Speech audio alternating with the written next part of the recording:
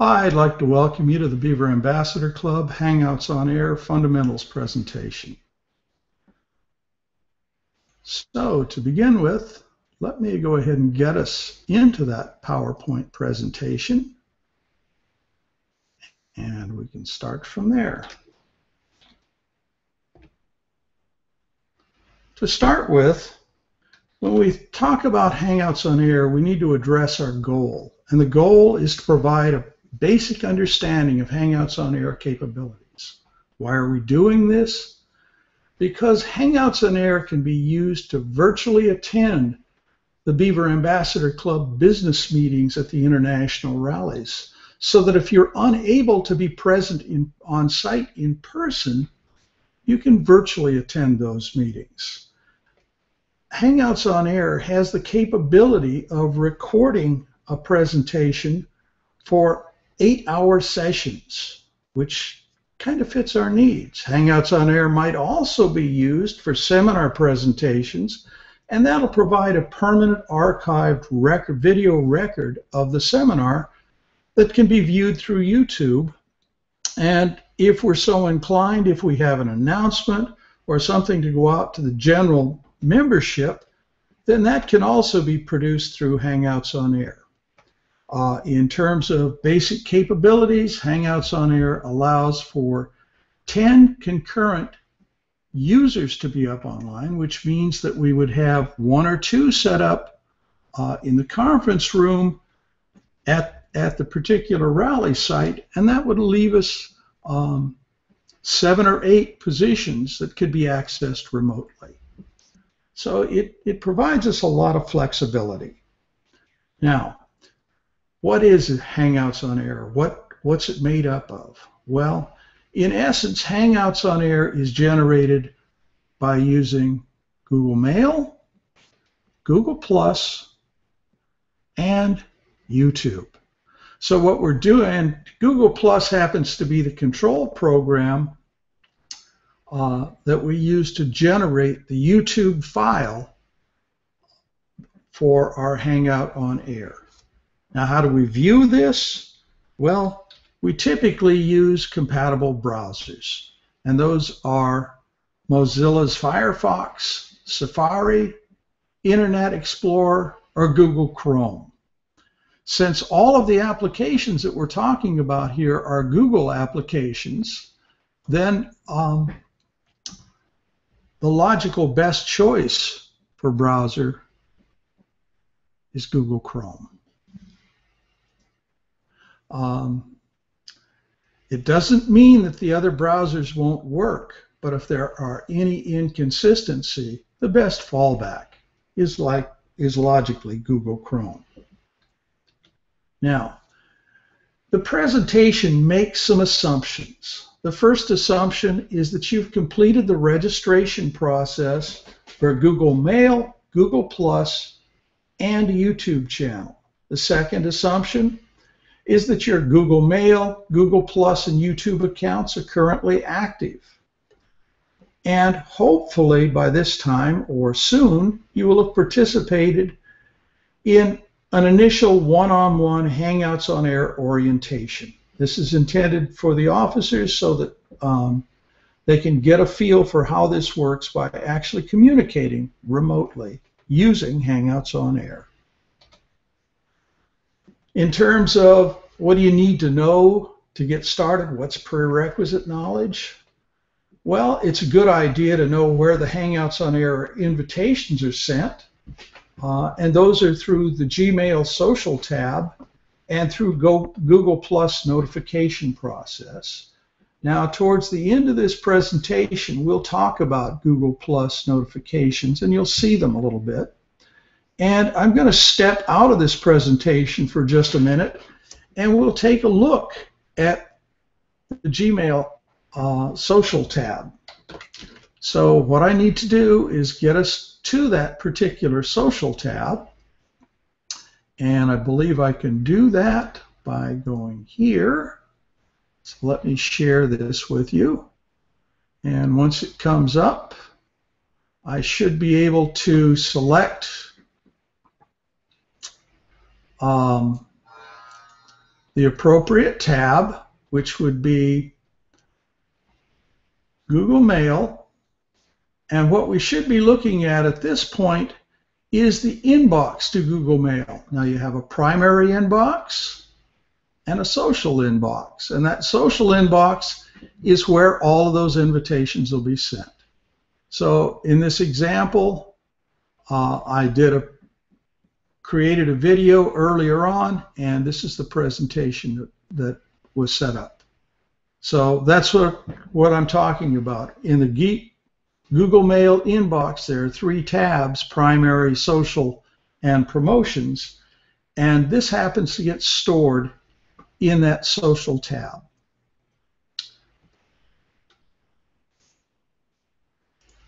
All right.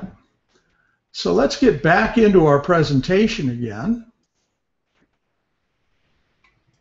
which slows things down a little bit. Um, we, so we've talked about where the invitations are sent. They're either sent via Gmail to the social tab, or you get a notification through Google+. Well, um, how we identify the people that we're going to send that information to is through the circles associated with Google+. Circles enable users to organize people into groups or lists for sharing across various Google products and services. Once a circle is created, a Google Plus user can share specific private content to only that circle. Therefore, I created for each of you a Beaver Ambassador Club circle, and BAC con themed content can be shared with uh, your colleagues in that particular circle. You also have the ability to share uh, content with the public, which is a much larger circle, um, or with everyone if you so choose.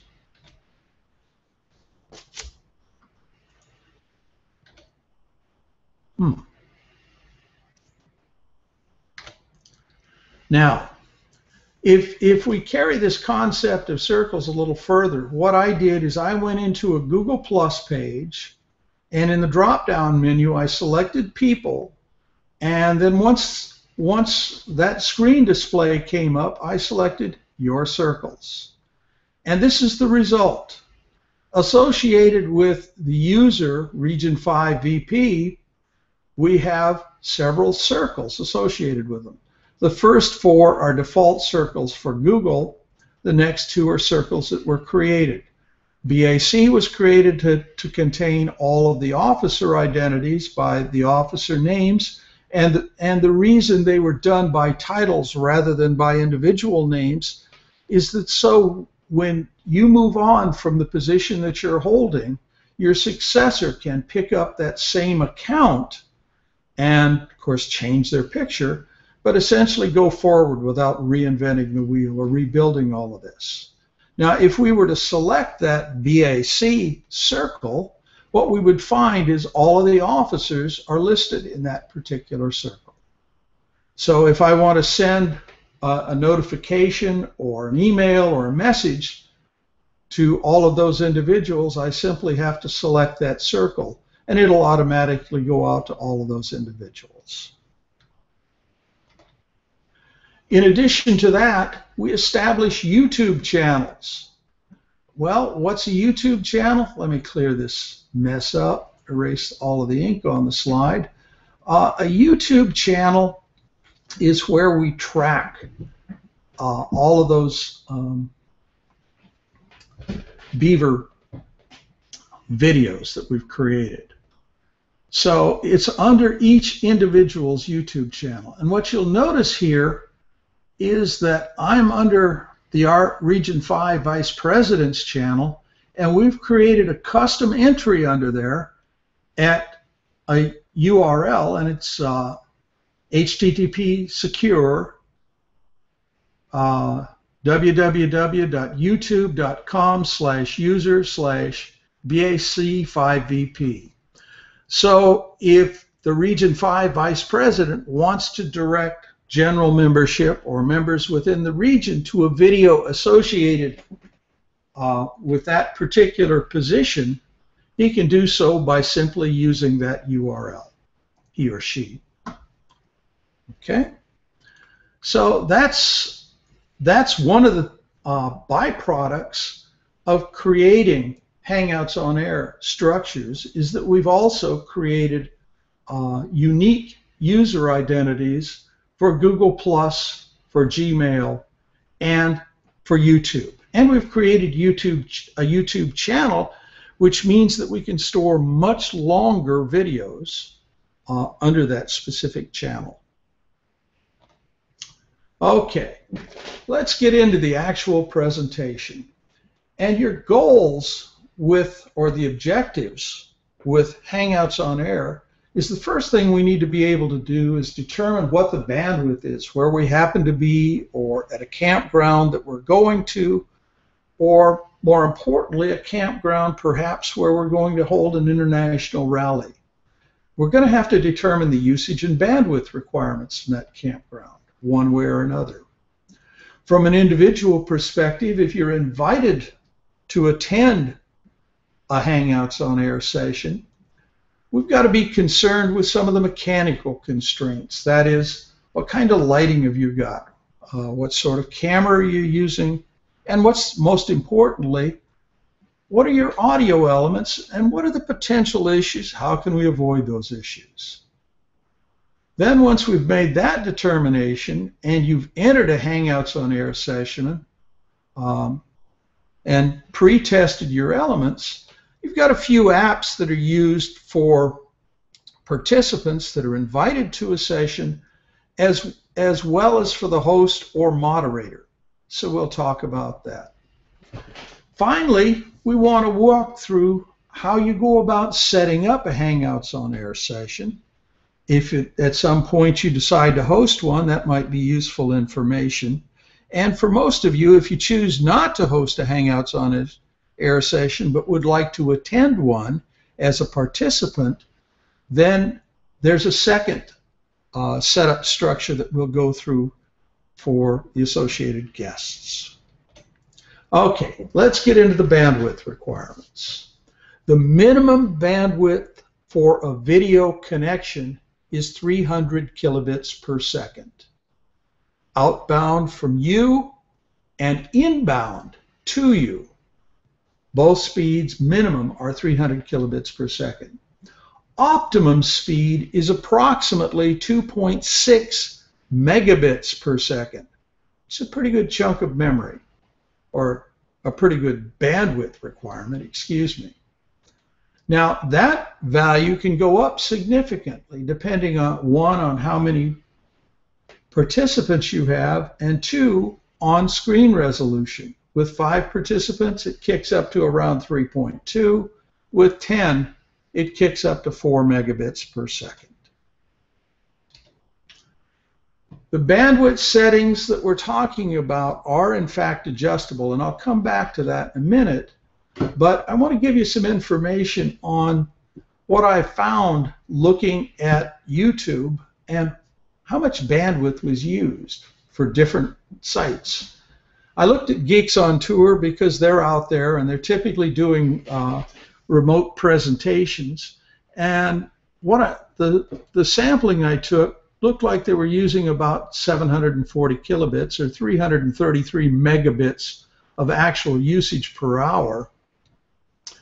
And um, I wanted to know if that was consistent, so I looked at other sites and I did some test connections. In my test connections, I'm using a cable modem interface, so I've got much higher speeds available to me, and I was able to perform at about 3 megabits per second, or 1.35 gigabits of data usage per hour. Um, I did a second test at a lower speed because Hangouts on Air allows me, provides me the ability to choke down that throughput speed so I went down to what's called low speed, which is 500 kilobits per second, and it worked out to about 225 megabytes per hour. And the screen display seemed acceptable. It's, it's degraded a little bit, but it is visually acceptable. Now, in terms of what can we adjust or how adjustable is it? Well, in a Hangouts on Air session, the default is Auto HD. And that's going to use whatever bandwidth is available to you for your upload and download speeds. Not all of it, but a lot of it.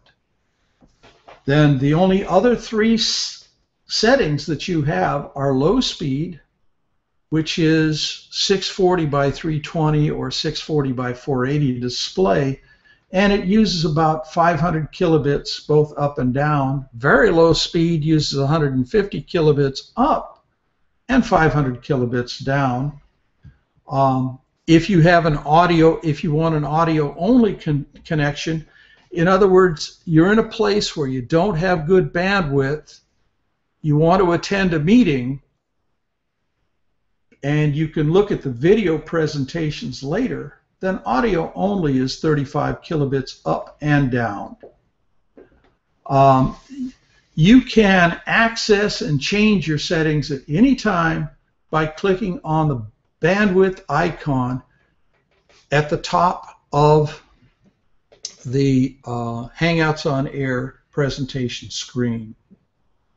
The settings you choose will stay that way until you change them to another value. So in other words, if you finish this presentation, go on and attend another one, it'll be at whatever settings you, you left it at um, until you change them again. So what I tend to do is put it back on Auto HD when I'm finished, which leaves me in a pretty good position. Okay, in terms of data usage as opposed to bandwidth and video resolution, well, the video resolution is measured in pixels per inch, and the resolution is a display resolution. So if your screen is 640 by 360, um, then 360 pixels of display is fine on, on most computer screens. And the average bandwidth requirement for that is about 750 kilobits. That's what the geeks seem to be using. It's data usage of about 338 megabits an hour. So you can choke it down to that if you want a full display of 1080 pixels, then you're going to use upwards of 4,500 kilobits or more. You can use up to around 6,000 kilobits per second which means you'd be utilizing at 4500, you'd be utilizing about 2 gigabytes of data per hour. You're going to have to have a pretty good contract in order to run at that kind of rate. Uh, one other point that I want to make here before I move on is that you don't have to watch these video presentations on a computer screen. Most smart TVs have the ability to connect to a YouTube account and look at information there. The reference for the streaming speeds is the YouTube live streaming guide, and it's on the live encoder settings, bit rates, and resolutions page. Okay. When you go to a campground or you're stopped somewhere, how do you check your bandwidth? Well, the easiest way is once you've got an internet connection, you can use speedtest.net. If you're pulled over to the side of the road, there is a speedtest.net app for both um, iPhones and other smartphones, anything that's running the Google operating system. Uh, and I believe that Speedtest is also available for the Windows operating system. Now, if we're if we were to look at this speed test, um, what I'll need to do is step us out of this presentation for just a minute and I'll take us right back into a screen share mode. This time I want to look at um, what I want to look at is speed test. So under speed test, uh, I go up on www.speedtest.net, and when I begin the test, it'll first do a ping test to determine how long it takes to talk to the nearest server. Then once the ping test is completed, we'll determine the download speed that we're currently running at. And as I said before, I'm currently running on a cable modem, so I have relatively reasonable speed. I've got about 6 megabits up and a little bit over 2 megabits down is typically my upload speed. And that's what they're saying, about 2.16 megabits. So you can do this test at any time uh, using speedtest.net. If you're not at a campground and want to know what the campground speed is, call the office and ask them. They may not know the speed, but there's also nothing wrong with asking them to run a speed test and give you the results. Okay, and also in some campgrounds, uh, the campsites are on a different Wi-Fi network than the conference rooms or the office are. So what you want to know are the speeds associated with a conference room, or you may want to know the speeds associated with the conference room. Okay, let's let's go back into our presentation again. So let me stop sharing for just a minute and I'll take us right straight back into that presentation, which I've got to step through a little bit of machinations to get there. So let me share it. And basically, come on.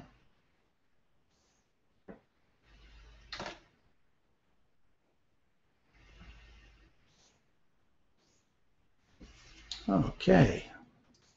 Having a little technical difficulty here, but I'll get us there in just a minute.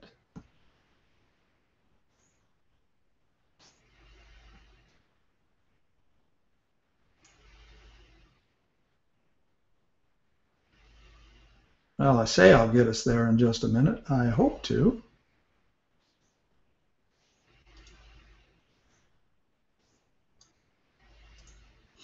Hmm doesn't seem to want to let me have it. So let me stop sharing for just a moment. And what we're going to talk about next are two other applications that we can use for that purpose. So let me just pull those applications up. The first of those applications will be, um, come on, share it with me, will be a RootMetrics application. And this also, RootMetrics also has an iPhone and other smartphone app.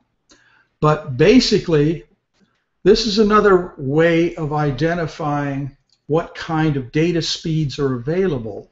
The difference here is that what we're looking at is we're looking at cellular data speeds. So I pulled up Kerrville for an example. Uh, you'll notice the address location in the upper right hand corner up here. And what it's telling me is that the bulk of the connectivity is LTE, which should mean fairly reasonable data speeds. Now I pulled up the AT&T network, which just happens to be uh, a better data network in the Kerrville area than Verizon, but you can change it from AT&T to Verizon very easily and you can see what sort of connectivity is available there. Now what's happening is that individuals are running tests using their smartphones on uh, to initiate those specific tests and they're using an app called Coverage Map to do this and that's what's generating this information. Um, that in turn is posted in a database and it provides useful information. But we, if I were to go all the way down on this, since we've got a specific address, uh, I don't see much uh, in test results in that specific area. It, as a matter of fact, it tells us there aren't enough. So what I might have to do is look at a different application.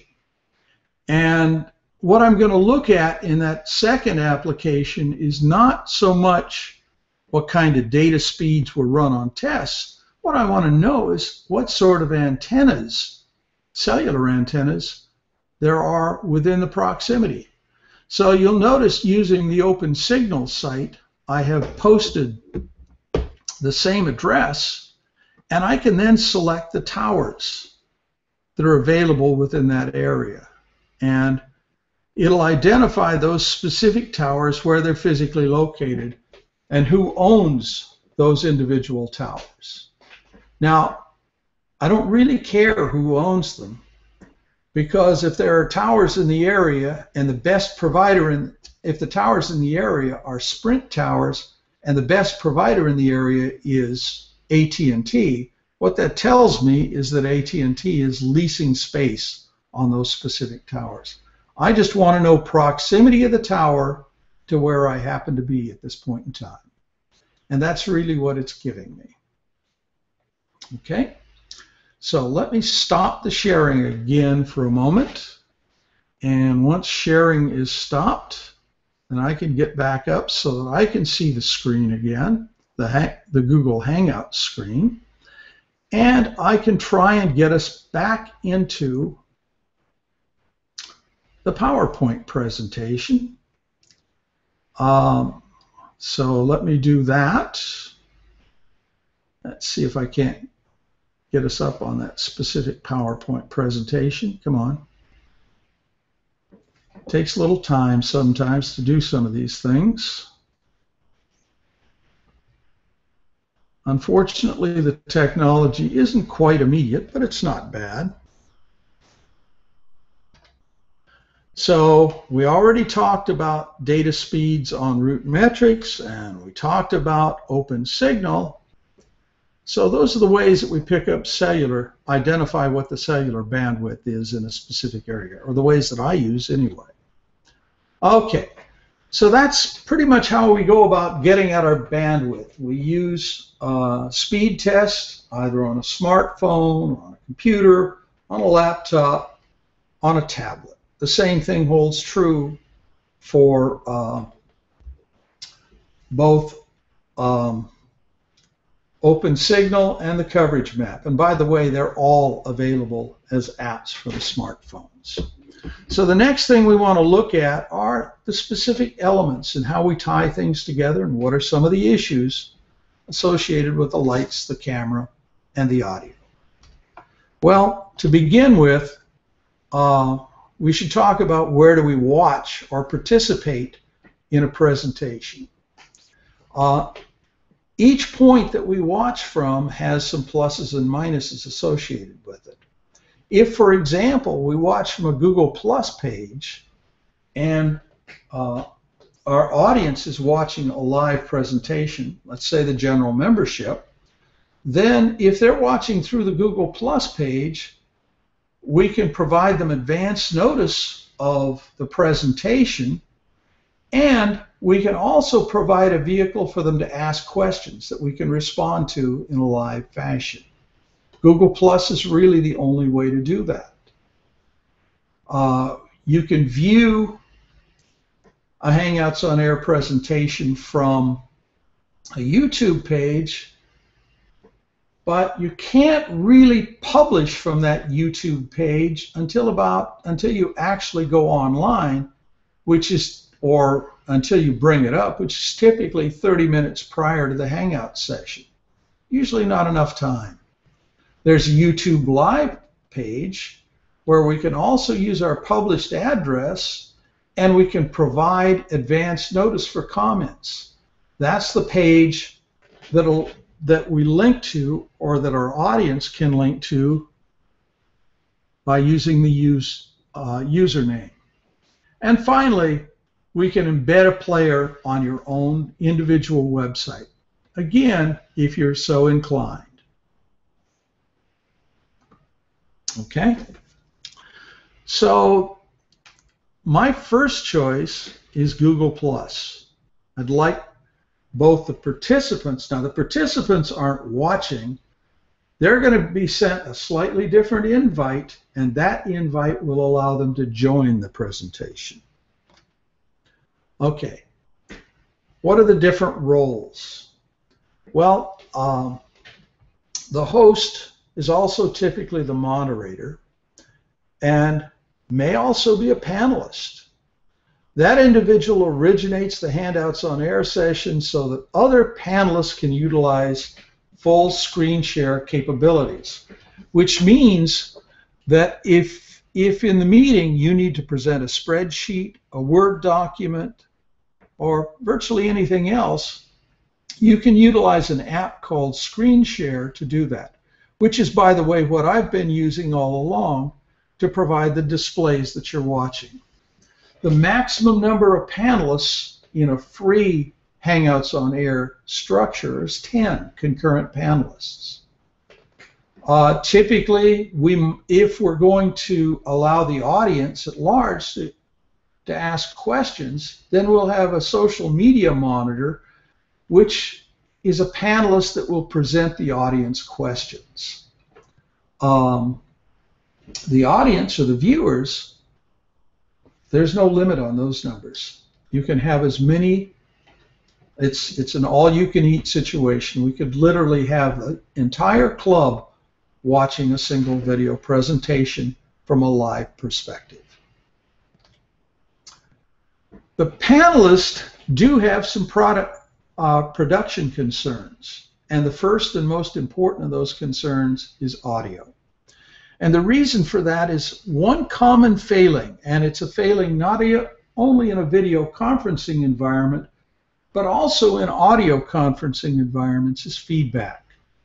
Feedback occurs when someone is connected through a computer or a smartphone or a tablet or even a laptop, and it's usually generated because of feedback between a built-in microphone and built-in speakers. So the microphone picks up the sound from the speakers, reflects it. It may be as simple as a small echo that you hear or as severe as a screeching sound. Uh, to combat that, the easiest solution is to use a standalone headset for your speakers or a combined headset and microphone. Okay, and those are available uh, at a very reasonable price. Uh, uh, an exceptionally good microphone and headsets available for $30 from GE. And if you're interested, let me know and I'll get you the information on it. I use, I happen to use a blue Yeti microphone, which is a big omnidirectional microphone. It's USB enabled it allows me uh, to sit back and not worry too much about the microphone noise. And you noticed I had on a headset. That headset is tied in to the speakers through the microphone, so there is no feedback. A second trigger for audio feedback is two people sitting in the same room connected to the same video conference. So now I hear the sound from one and the sound from another you want to minimize the background noise. And when you're not actually presenting or not the active presenter, it's a good idea to mute your microphone. You can do that the top center of your screen. You'll find a black uh, microphone symbol with a slash through it. When you select it, it'll turn red, and that indicates that you're muted. When you come off a of mute, you just hit that red icon, and it'll turn black again. Okay? Good audio is our single most important component in a video conference. Any, any video conference, whether it's um, a Google Hangout on air or anything else you choose to use. In terms of lighting, the intent of lighting is to get even distribution of light, avoiding deep shadows on the subjects. Uh, in an ideal environment, you use three-point lighting. That is a key light, a fill light, and a backlight. Key light typically sits uh, facing you frequently from behind the camera or actually off to one side at a 45 degree angle. That gives you highlights on the face. That's complemented with a fill light, which is a slightly dimmer light that's 45 degrees on the opposite side of the camera, again facing you. And the third light is, uh, is called a backlight. And that's a light source from behind you, typically above and behind or off to one side and behind.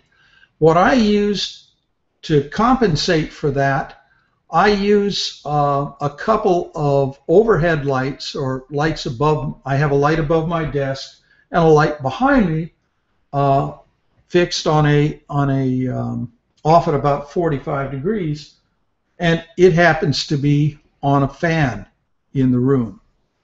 So uh, you, if you understand what the purpose of three-point lighting is, you can adjust to that situation and address it.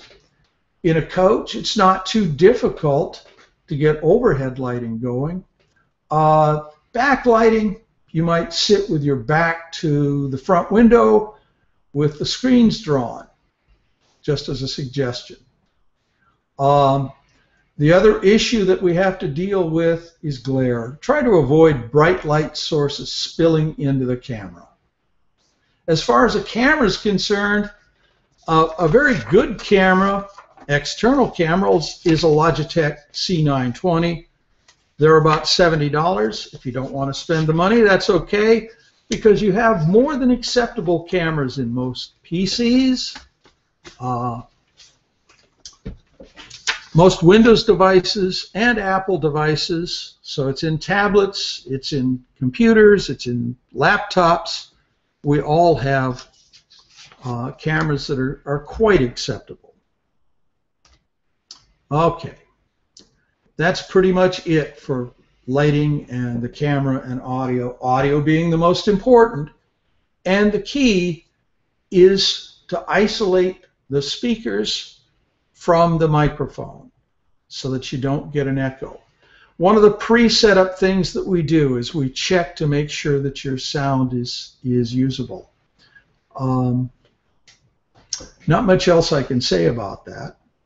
We want to take a look at the Hangout on Air apps next. So let's move into that. And the first app that I want to talk about is Screen Share. You'll notice in the upper left corner that you see an, uh, a green icon next to apps. Uh, apps appear, will appear in your screen on the left-hand side. Now, most of the time you don't see anything over there. The only time you see anything over there is when you move a mouse close to it, and then all of your apps will appear in a vertical strip. The most important app for uh, us as individual users or as participants in a session is the screen share app because when it's our turn to present, if we have any content we have to get out there, that content is pulled through screen share. So you simply select the item that you want to share. Like for example here, um, if I wanted to show a video on brighter headlights for your beaver, uh, I might click on that and then select share and that would allow me to share that video with the group at large. Okay. Um,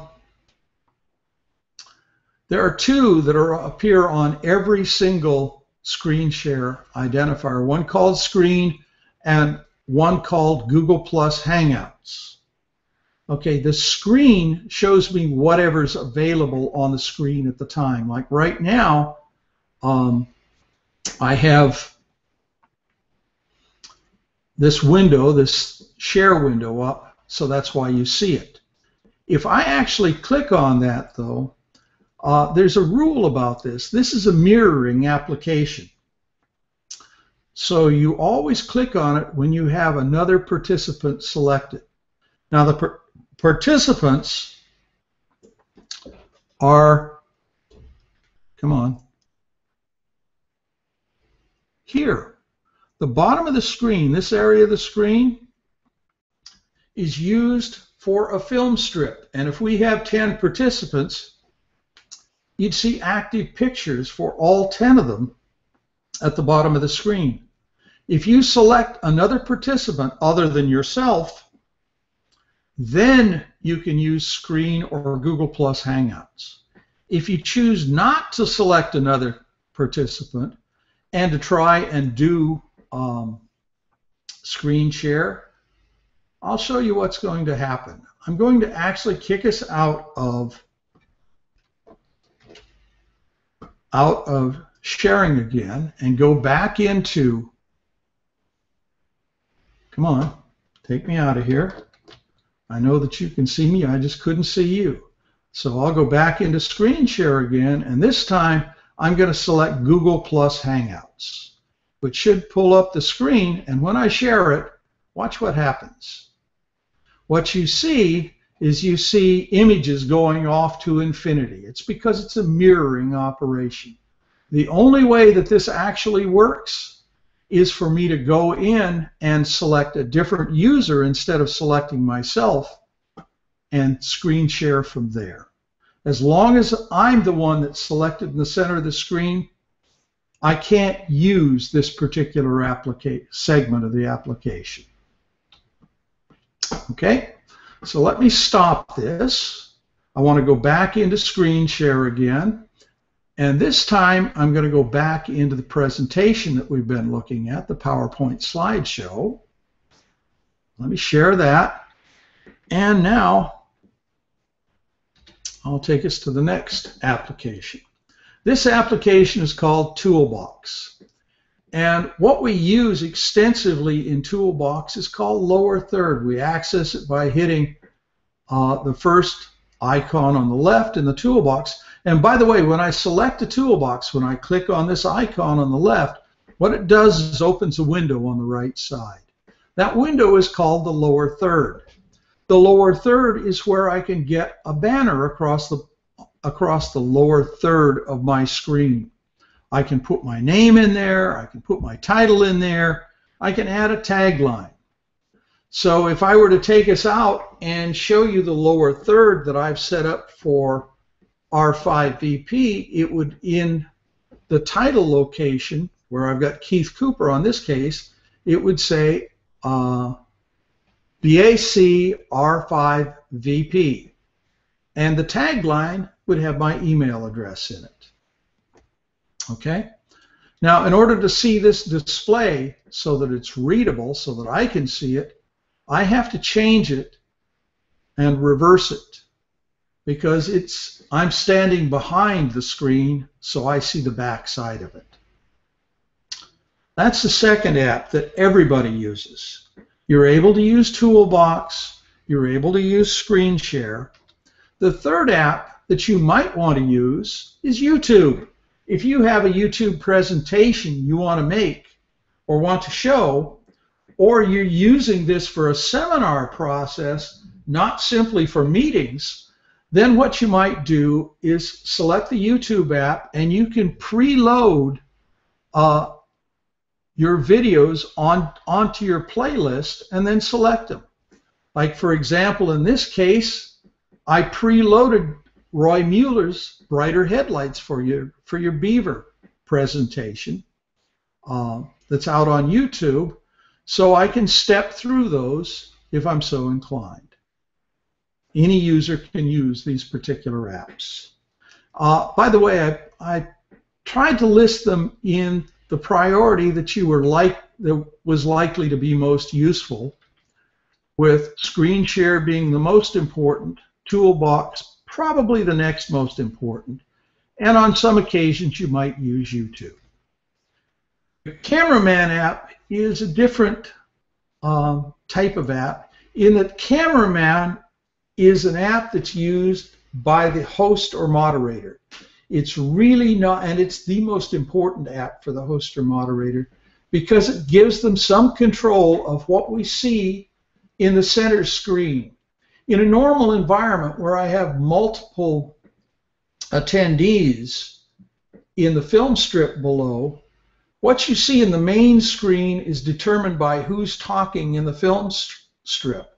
So if they get an argument in the film strip, this thing's going to flip back and forth. Not a great situation. I want to be able to control it. So what I have the ability to do um, is by selecting this second button, if I happen to be the host or moderator, what I've done is I've told you that what's going to be seen by the audience at large, not necessarily by other participants, is the screen that I select to be in the center. Um, I also would likely select the third item. And the reason I select the third item on here, come on,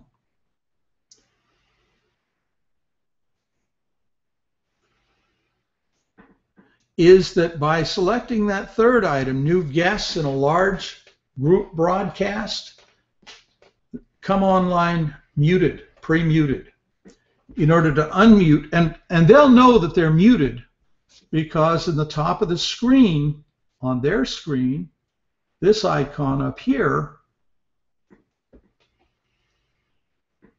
come on, having a little trouble drawing today, will always be red.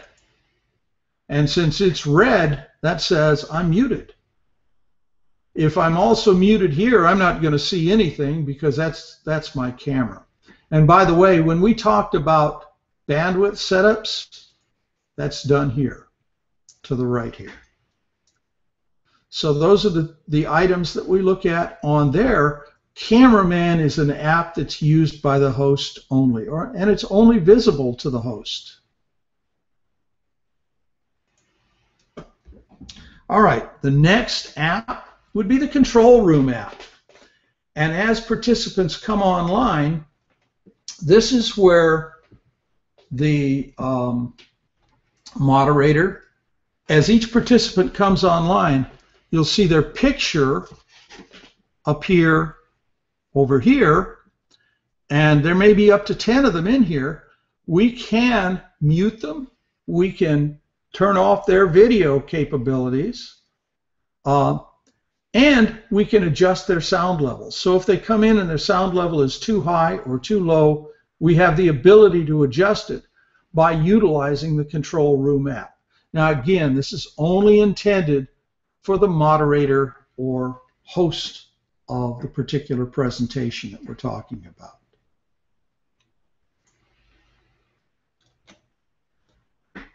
The host also has the ability before they start the broadcast to initiate a Q&A session. Okay, and they must initiate it before they actually start the broadcast. It won't work after that. And it's this Q&A icon that I've enlarged in the upper left-hand corner of the screen. It's in the banner about four down in this particular case. This is what allows our audience at large the ability to ask questions that we can then respond to in a live environment.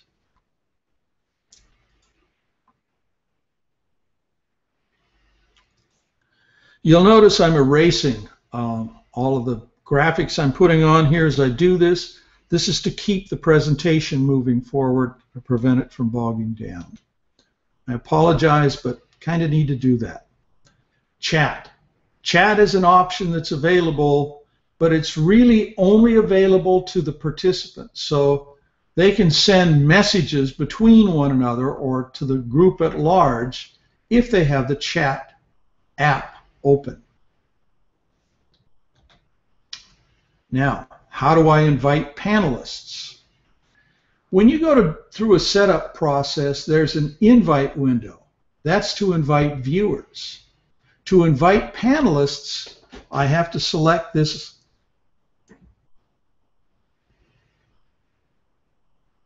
area up here on the screen, and once I've selected it, it will allow me to invite any circle that I have associated with me or any user uh, may be invited in that way. If you're not invited in this fashion, you, you can view a presentation and a live presentation at that, but you cannot participate. You must be invited in order to participate. That pretty much wraps up. Let me go back and clean that up before we leave here.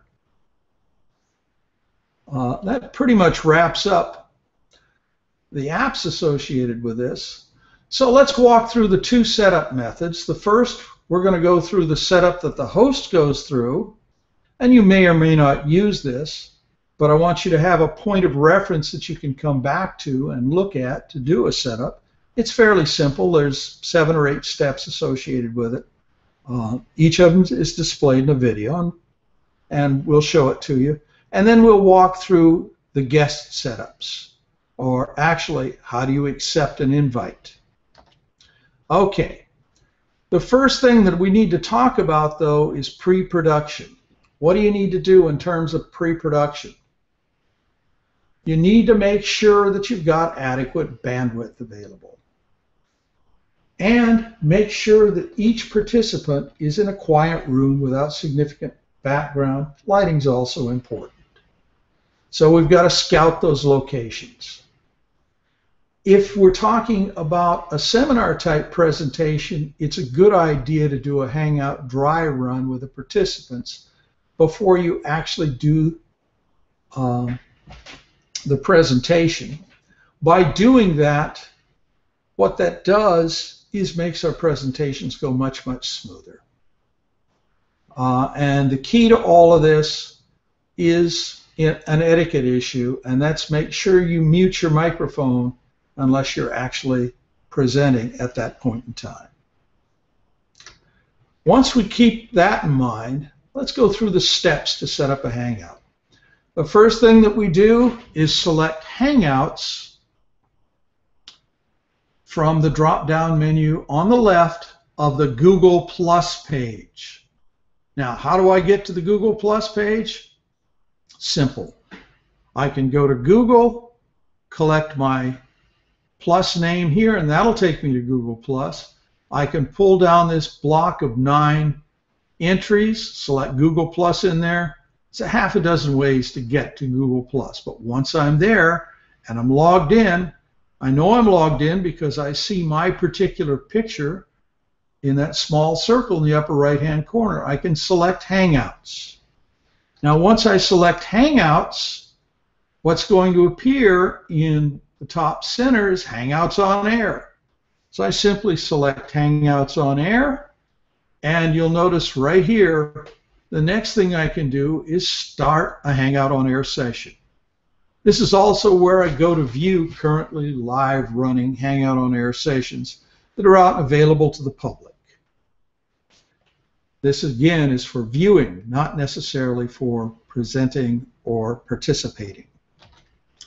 Okay, when I go to set up a Hangout on Air session, I've got to identify what it's for. In this case, I said, oh, this is my first Hangout, okay? And I want to test my systems. So by way of that, I'm providing a title and an explanation. I can provide a start time, so if I say later, that allows me to schedule an event with a date and a time and the duration. My guess, best guess at a um, duration. I can set my audience as the public or an individual. And if I select an individual, I can delete the public out of here. And once I've done that, then I can share this. And as soon as I share it, what happens is that I'll go to a, an events page, subpage on my Google Plus page and it will identify, it'll provide the title of my particular Hangout. In this case, it was first Hangout Example. I can edit that title if I want. Uh, I can also share the event with others, okay? But the event itself is right below it. This is the event that we're going to call. So when I'm ready to start that event, I simply press the start button. Okay, and let me, come on.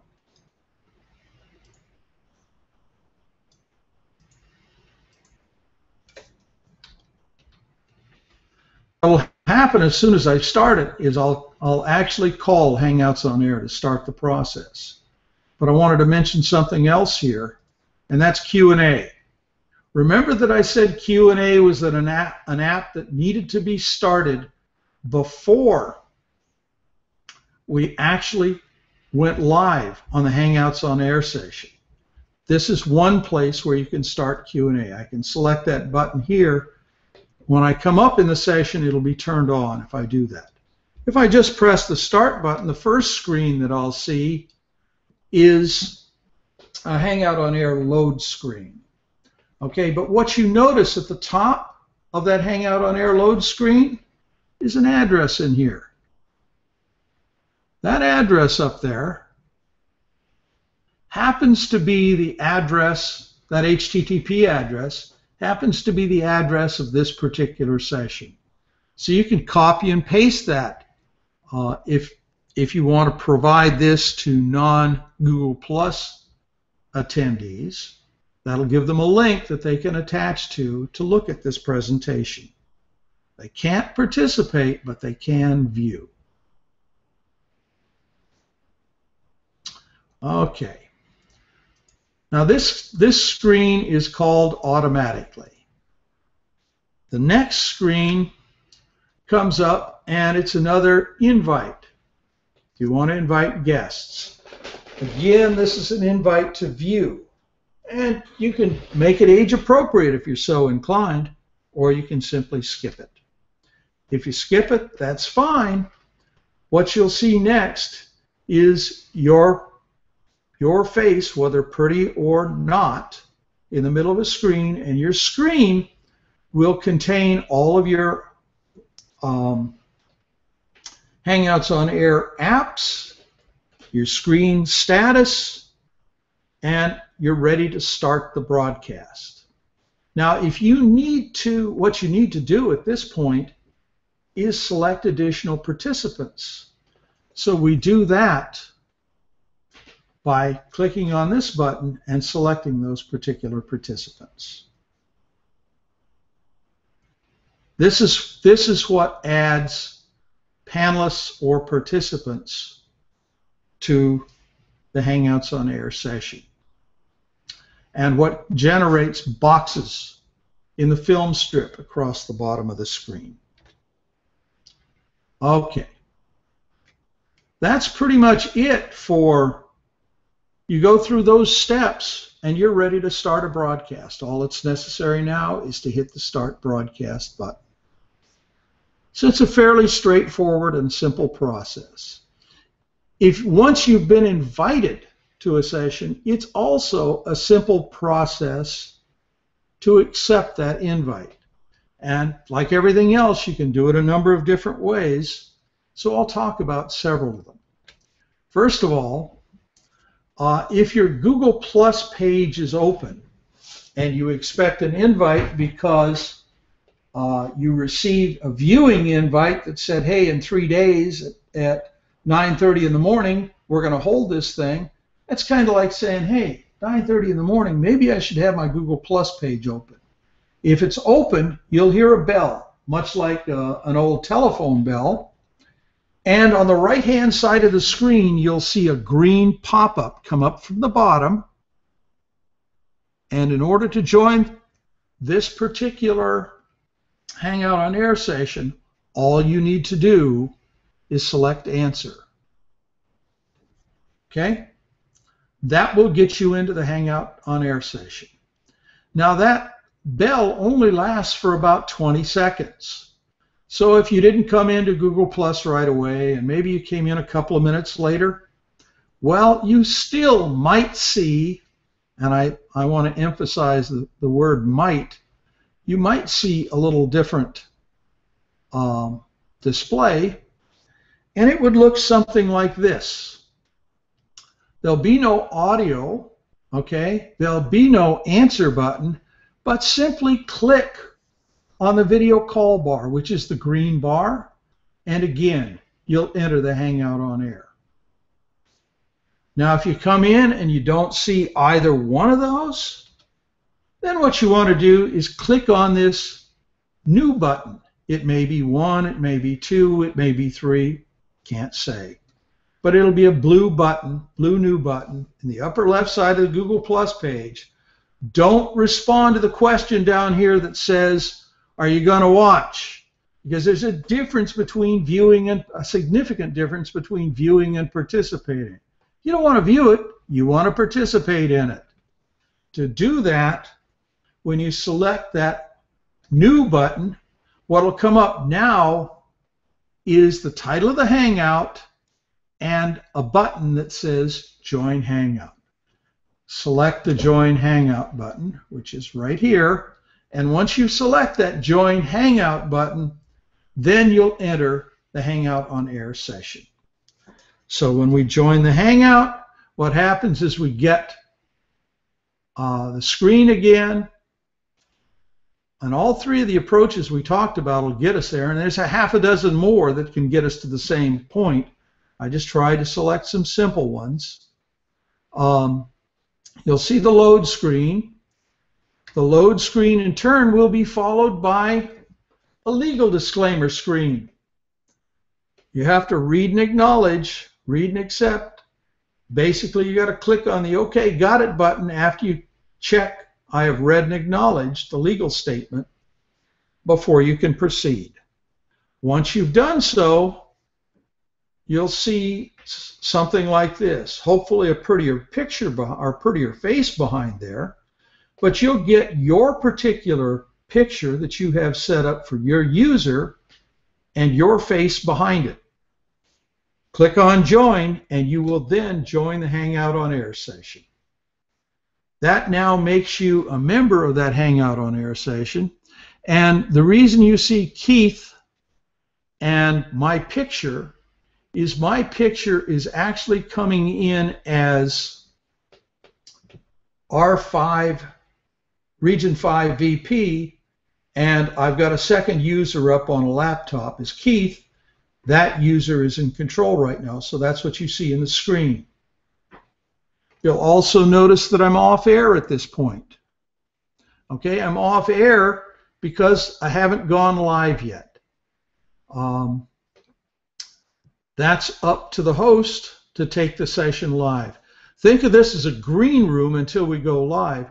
It gives us a way to check the incoming participants' audio, video, lighting before a session and to work out any other issues that are necessary at the time. That pretty much concludes what's required to join a Hangout. Uh, if you have not set up Google Plus, set up YouTube, set up Google Mail, there's some excellent stuff out there. Google Plus account set up, I've identified. Uh, I've identified setups for the accounts and the tutorial for both a Hangout guest and really um, some of the best I found was Ronnie Bincer. He's called the Hangout Helper and he's got two sites, a Hangout Helper and a Hangout Mastery site and there's some pretty good presentations at both of those. So I've listed some sites you can go to and look at presentations about Hangouts on Air if you want more information. That pretty much wraps it up. We've gone through what's required for bandwidth, usage requirements for Hangouts on Air. We've talked about uh, the elements and issues. We've identified the apps, and we walked through the basic setup. So I hope this meets your needs. If not, send me an email. Have a great day. I'm going to go ahead and, and kick us out of here now. Well, maybe I am. And then we'll